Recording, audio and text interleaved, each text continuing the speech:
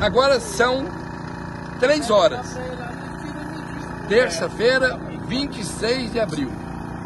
Estou aqui para dizer para a população que nós estamos acabando de consertar de novo né, as, a placa da cidade, tá certo? Que agora instalamos a câmera de vigilante, tá certo?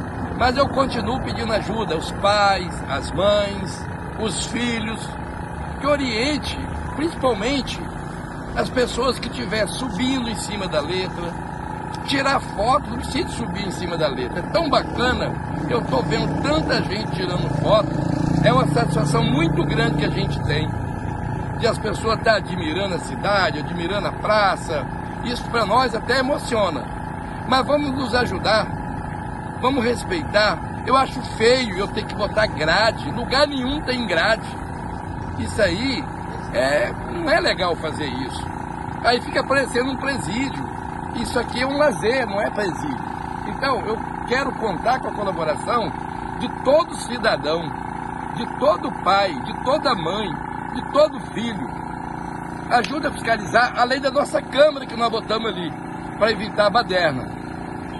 Obrigado e eu conto com vocês.